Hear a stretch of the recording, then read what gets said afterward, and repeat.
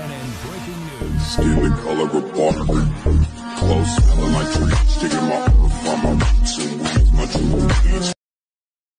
Halo everyone, welcome back. Baik lagi sama gue Natasha. Terima kasih banyak untuk yang sudah klik video ini. Gimana kabar kalian hari ini guys? Semoga kalian selalu sehat dan baik-baik aja ya.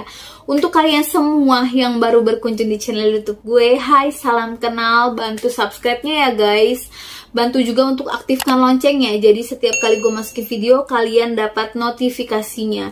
Seperti biasa guys, di video kali ini gue akan membawakan satu kasus kriminal. Kisah pembunuh yang memotong kemaluannya sendiri guys. So, tanpa menunggu waktu yang lama, langsung aja yuk kita masuk ke ceritanya guys.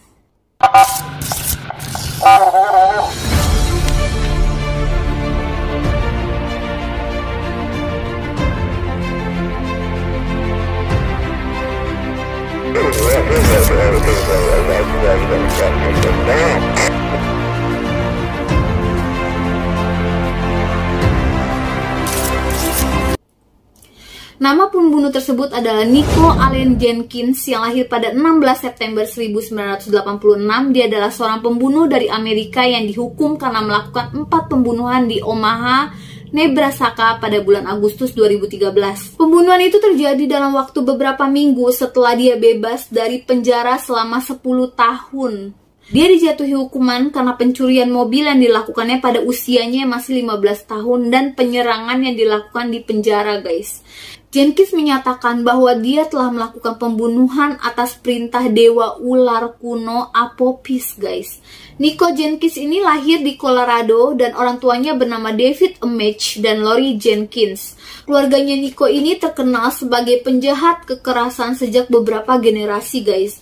Masa kecil Nico Jenkins dan saudara-saudaranya dipenuhi dengan kekerasan, pelecehan fisik, dan aktivitas kriminal oleh orang tua mereka. Ini foto Jenkins dan saudara-saudaranya. Ibunya, bapak, dan saudara-saudaranya Nico Jenkins memiliki riwayat kriminal dan karena lingkungan seperti inilah yang membuat Jenkins tumbuh dan menjadi seorang kriminal juga guys. Tindakan kriminal pertamanya adalah ketika dia membawa senjata ke sekolah pada usia 7 tahun. Untungnya tidak ada yang terluka dalam insiden itu guys.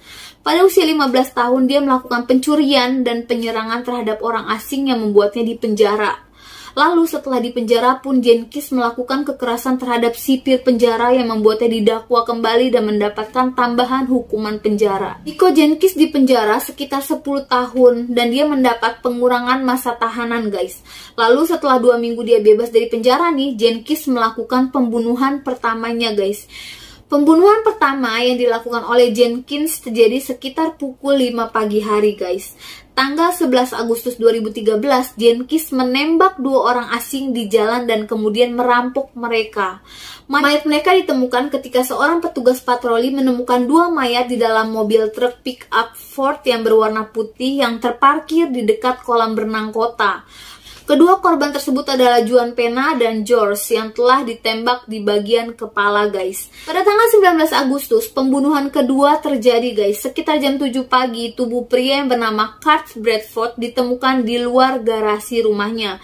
Lalu penyelidik tiba dan menyelidiki kasus pembunuhan tersebut dan ditemukan dua luka tembak di bagian punggung Bradford guys. Aksi pembunuhan Jenkins ini tidak dilakukan seorang diri. Jenkins dibantu kakak perempuannya yang bernama Erika Jenkins. Wow, pada awalnya mereka cuma berencana untuk merampok kedua korban pertama. Namun entah kenapa pada saat itu Jenkins memutuskan untuk membunuh mereka berdua guys. Dan korban ketiga Jenkins yang bernama Kurt Bradford adalah seorang teman Jenkins yang dia kenal ketika masih di penjara. Jenkins mengajak Kurt untuk melakukan aksi pencurian bersama kakak perempuannya ini.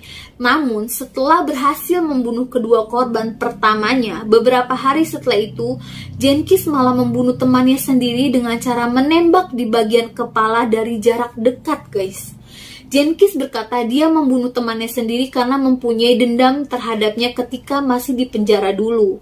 Korban terakhir pembunuhan Jenkins ini adalah Andrea Krager. Pembunuhan tersebut terjadi ketika Andrea sedang pulang ke rumah dengan mobilnya itu.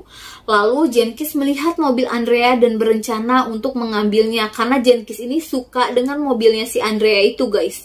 Pada saat itu, Jenkins menodongkan pistol ke Andrea dan mengancamnya untuk memberikan mobilnya itu kepada dia. Lalu Andrea pun setuju dan memberikan mobilnya.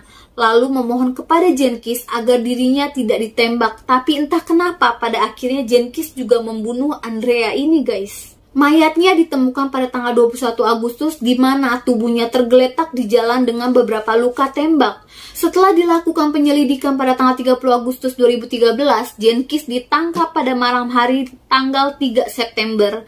Jenkins mengakui bahwa dia melakukan keempat pembunuhan tersebut guys. Jenkins mengatakan kepada polisi bahwa tindakan tersebut adalah pengorbanan kepada Apopis dewa dalam agama Mesir kuno.